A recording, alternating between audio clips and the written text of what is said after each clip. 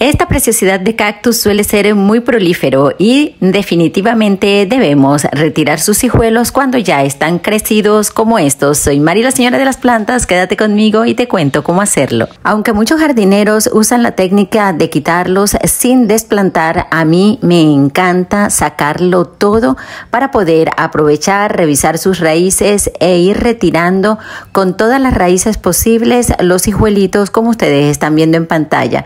Esta preciosidad me regaló más de 40 hijuelos. No hay mayor misterio, con unos guantes, por supuesto, para evitar pinchazos, los tomamos por el centro y simplemente le damos una pequeña vueltecita hasta escuchar el clic de una separación limpia. Aunque es un espectáculo precioso verlos en colonia, no es conveniente por mucho tiempo porque se debilita la madre y podríamos perderla igual que deformarse los hijuelos. Es mejor separarlos y tener sanos y felices a estos pequeñitos. Espero que te sirva este corto tutorial y que puedas aplicarlo en tu jardín. Bendiciones.